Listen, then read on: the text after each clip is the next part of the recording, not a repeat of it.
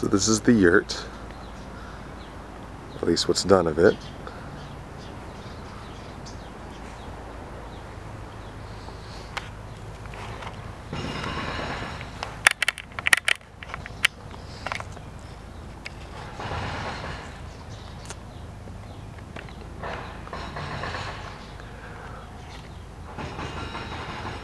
It's very cozy. Opens right up when you get inside.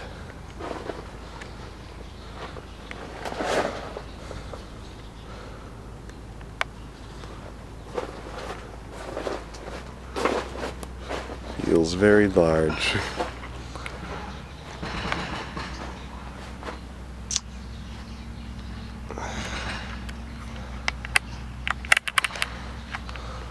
and it's very comfortable to sit in.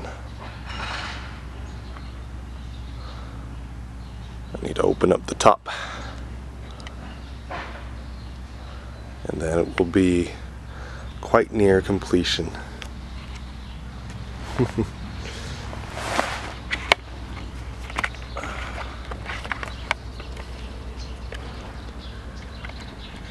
I didn't uh, film the rest of making it because it was rather boring, painting and stuff. Um, but uh, I thought I'd show you guys the final product. Almost final. It was mainly just painting them and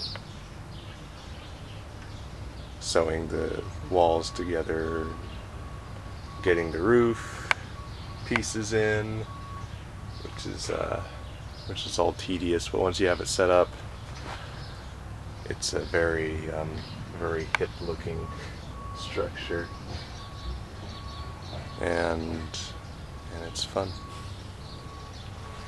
Well, until I make my next video, I bid you all farewell.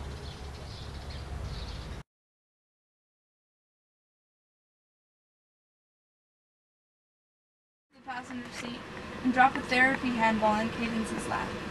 No! I'm not stupid! Cadence struck the ball away from her and it hit the glove compartment before it bounced on the floor again. Mother seized the girl's ear and the car swerved. Honor your father and mother and all will go well with you. She spoke from a place deep in her gut before releasing Cadence's ear with a yank.